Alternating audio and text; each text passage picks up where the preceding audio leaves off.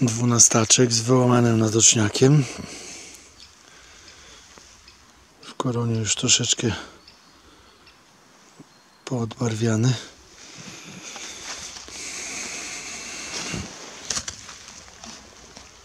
Nie wiem jak to jest, że chodzę tutaj na wiosnę, na jesień przychodzę w to samo miejsce i znajduję tyki. Albo je po prostu przechodzę i nie widzę, albo jakaś zwierzyna je przytarmosi typu lizdzik. Ciężko powiedzieć.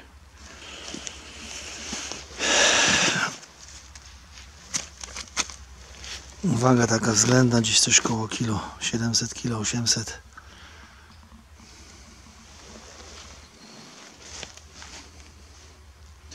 Także listopadowe spacery sprzyjają mi.